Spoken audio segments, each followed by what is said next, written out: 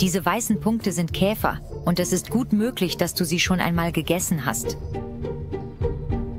Sie wachsen auf Kakteen und werden Gachanils genannt. Die Säure in ihren Eingeweiden ergibt einen leuchtend roten Farbstoff. Es ist in einer Vielzahl von Produkten enthalten, von Erdbeerjoghurt über M&Ms bis hin zu Lippenstift. Die Ureinwohner Lateinamerikas handelten seit Tausenden von Jahren mit ihr. Im 17. Jahrhundert war sie nach Silber das zweitwichtigste Exportgut Mexikos. Man findet ihn an den Wänden archäologischer Stätten, auf unbezahlbaren Gemälden, sowie in den Gewändern der Könige. Synthetische Farbstoffe und der Druck von Tierschützern haben einige mexikanische Farmen dazu veranlasst, die Produktion gänzlich einzustellen. Und der Anbau von Gachanils verschwand. It's a shame because it's the most powerful, brilliant red dye in existence. Dies wird das letzte Mal sein, dass Inés Carmona de Gante Gachanels auf ihrem Land anbaut. Hicimos todo lo que se pudo. Andere, wie Catalina Yolanda Lopez, sagen, dass sie alles tun werden, um ihre Produktion aufrechtzuerhalten. Valorábamos, digamos, la grana cochinilla como un tesoro que nos dejaron nuestros antepasados y que teníamos que, que lograr que sobreviviera. Aber Catalina weiß nicht, wie lange ihre Familie diese alte Tradition noch weiterführen kann.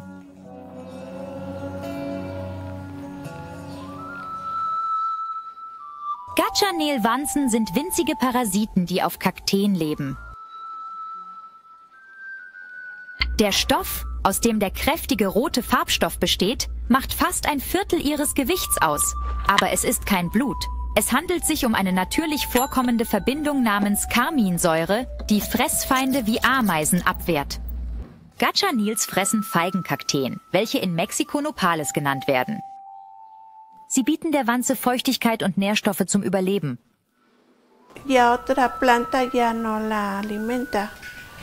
Catalinas Großmutter brachte ihr die Aufzucht von Gachanils bei, als sie gerade vier Jahre alt war.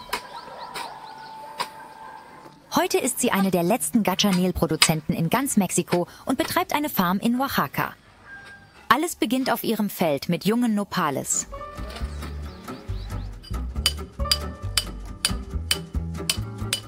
Diese Jungkakteen sind Ableger von älteren Kakteen. Un nopal podemos sacar fracciones y multiplicarlo. Cada penca de abajo desarrolla dos, como si fueran conejitos, aquí vemos. Die Bauern müssen Handschuhe tragen, um sich vor den Nadeln der Kakteen zu schützen, wenn sie die Blätter abschneiden. Espinitas de 3 milímetros que se entierran en la piel y que son muy este, dolorosas. En el cuerpo a veces se me llegan a encajar y como no los puedo buscar, pues se me quedan ahí, que ya parezco nopal.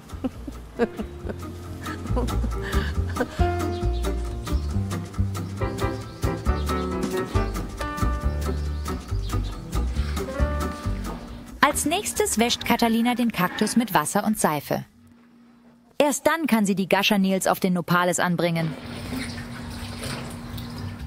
Estamos anidando lo que es la grana cochinilla madre, poniéndola dentro de los un nido de palma.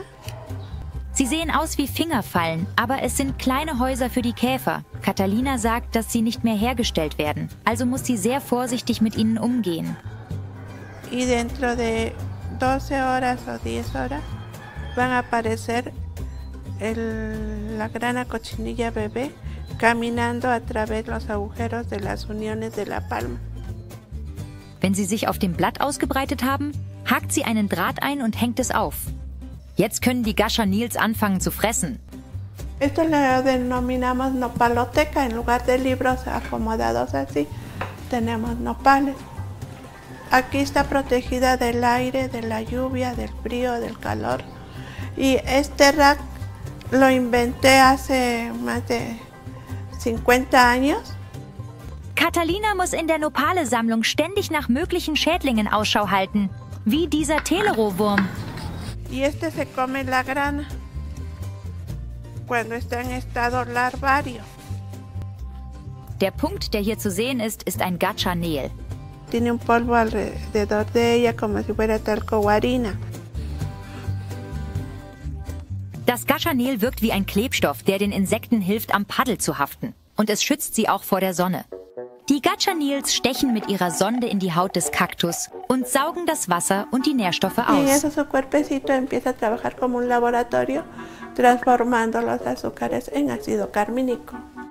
Nur weibliche Gachanils produzieren Karmin. Die Männchen sind winzig, haben Flügel und fliegen weg. Aber nenne diese kleinen Kerle nicht Käfer oder Kakerlaken. Las cucarachas tienen caparazón, tienen dos antenas y son muy feas. Y estas son preciosas. Nach dem Aufenthalt in Puebla werden fast alle Nopalfelder von Carmona verschwunden sein. Sie plant, sie durch Mais zu ersetzen und nur ein paar Kakteen zu behalten, um hobbymäßig Gachanils zu züchten. Sie kommt raus, um Unkraut zu jäten und Fressfeinde zu verscheuchen. Las arañas, los bichos. Sie sucht nach den perfekten Kakteen, um sie zu ihren hungrigen Käfern ins Gewächshaus zu bringen. Puede ser pequeño, puede ser chueco, deforme, este, pero debe de ser grueso, que tenga alimento. Die Züchter der Gachanils müssen die Kleintiere ständig zu neuen Nopalpaddeln bringen. Nach drei bis vier Monaten sind die weiblichen Insekten bereit für die Ernte.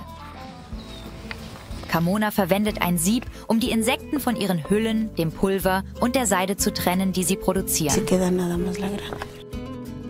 Wenn die toten Gachanils austrocknen, erhärten ihre weichen Hülsen.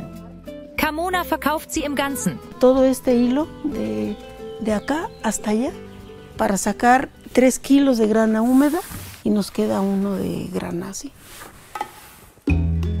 Catalina und ihre Tochter, Claudia Juarez Lopez, verwenden eine traditionelle Metate, um sie zu einem leuchtenden Rot zu malen. Este, es preferible hacerlo a mano, ya que nosotros creemos que es mejor este, la molienda, es más despacio y el color se concentra más. So oder so handelt es sich um eine sehr mühsame Arbeit. Man braucht 70.000 Käfer, um circa 500 Gramm Farbstoff herzustellen.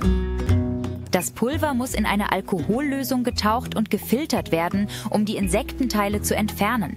Catalina verkauft ein Kilo ihres getrockneten Gachanil für etwa 150 Dollar. No. Así, con todo este trabajo que lleva, tendría un precio de 10 mil pesos por kilo. Große Lebensmittelmarken verwenden Kaminsäure in allem, von Yoplait Erdbeerjoghurt und Airheads bis hin zu Nerds und M&M's in Großbritannien. Aber die Kunden werden es nicht schmecken. No cambia el sabor, o sea, la grana solamente tiene puro color. Auf der Nährwertkennzeichnung erscheint es als Kamin.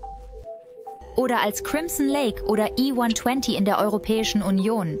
Karmin wird auch häufig in der Kosmetikindustrie verwendet.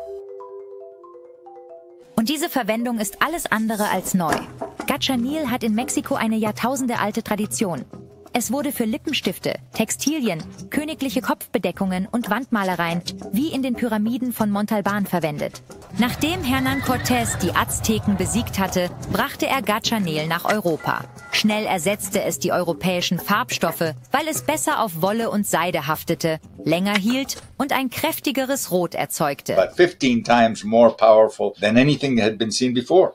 Es wurde zu einem Symbol der Macht, das in der teuersten Mode auftauchte. Die katholische Kirche verwendete es in ihren roten Kardinalsgewändern und die britische Armee in ihren roten Mänteln.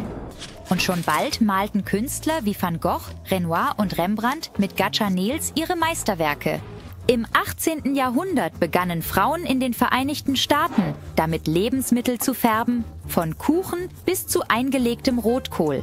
Doch dann wurden in den 1860ern synthetische Farbstoffe erfunden. Zuerst Mauve, das aus Nebenprodukten der Kohle hergestellt wurde, und dann Rot Nummer 2, welches aus Erdöl hergestellt It wurde. was very difficult to compete because they had lower prices, larger volume, and uh, similar qualities.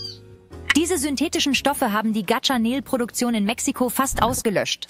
1976 verbot die FDA den roten Farbstoff Nummer 2 wegen des Verdachts, dass er Krebs verursachen könnte. So begann ein neues Interesse an natürlichen Farbstoffen. Aber zu diesem Zeitpunkt gab es fast keine Gachanel-Züchter mehr im Land. Catalinas Familie war eine von nur drei, die noch mit den Insekten arbeiteten. Also machte sie es sich zur Lebensaufgabe, die Käfer zu erhalten und andere über Gachanel aufzuklären.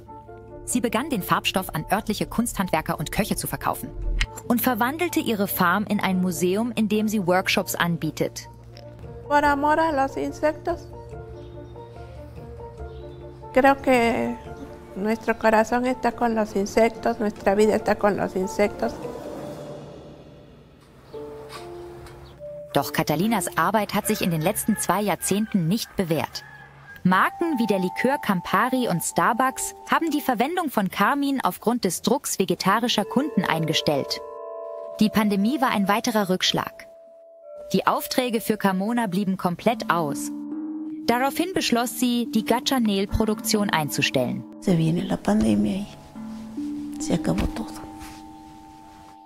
2022 produzierte sie 400 Kilo des Insekts. 2023 erwartete sie nur noch 50 Kilo. En dos meses desaparece el, el espacio. Sie hat das ganze Gewächshaus auf Tomaten umgestellt. Pues sí necesito este, algo que me genere dinero Können die mexikanischen Erzeuger ihre Gachanil noch retten? Die Antwort könnte in Peru liegen. Die Regierung begann in den 90er Jahren in den Gachanel-Anbau zu investieren, um die Beschäftigung in den ländlichen Teilen des Landes zu fördern.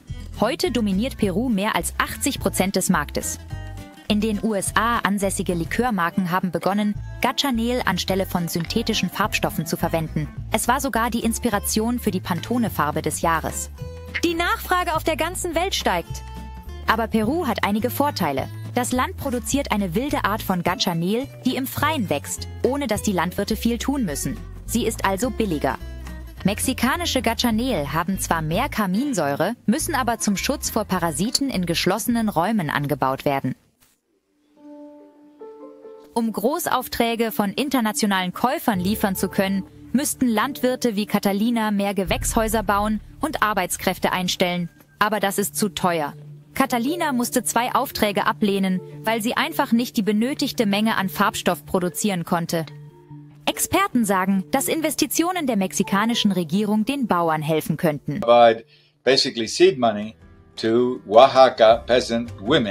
In der Zwischenzeit hofft Catalina, jeden Besucher, der auf ihrer Farm vorbeikommt, aufzuklären.